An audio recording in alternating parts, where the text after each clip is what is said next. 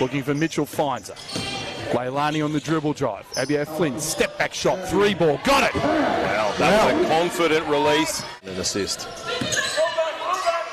Mitchell for three. Wow. didn't she walk into that just like last week? Crusaders have cut this lead to five. Here's Mitchell, little hezzy, goes into the rack, scores. Wow. Tompkins, Leilani, little mismatch. Blows past Hutchins off the window, score the basket and the foul. My goodness. More importantly, that's their number one thing. If they can cut those turnovers, it'd be a very different second half. And ripped rebound, great rebound from Tompkins. Releases Mitchell, goes to the rack off the window. Wow. Score the basket yet again.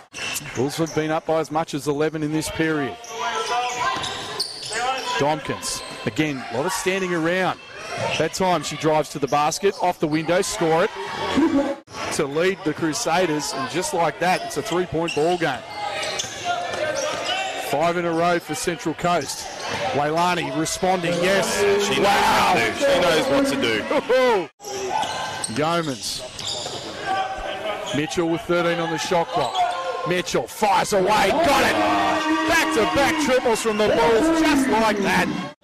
Bulls struggled early, but they've come alive. Mitchell, little hezzy, finds Parrish, got it. It is, that's her shot. And Mookie Shirali here with you on Kayo Freebies. Hope you're enjoying the action wherever you might be. Mitchell. Hey, Flynn, corner, three, yes! Mitchell with seven, with six. Mitchell gets a screen from Parrish.